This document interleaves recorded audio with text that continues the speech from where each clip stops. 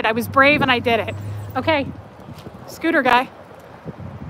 Okay, another scooter guy. It's kind of freaking me out. All right, guys, I will uh, see you at home. Please, dude just crashed into the building. You all right?